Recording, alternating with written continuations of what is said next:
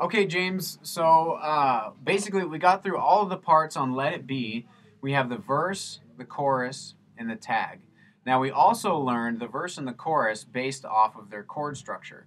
And so, um, what we were talking about today was the difference between the one with the chords that just has the letters, so like C and G and all of those, but trying to make a connection between that version and the version with all the notes written out. And it's still kind of taking some time, so we'll probably talk about that again next week. Um, but for what you should practice for the week, what I would like you to do is get to the point with this song that we have it, one, memorized, but two, uh, know the form and the structure of the whole thing. So, granted, there's three different sections, but um, I want you to try to think of them as one unit, right? So, what we're actually going to be doing is playing the song starting with the verse section, which is called part one.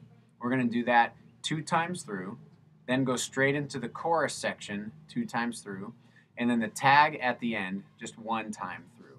Okay? And so we're going to try to get to the point that we have that memorized and um, performable without any of the music or anything like that in that order.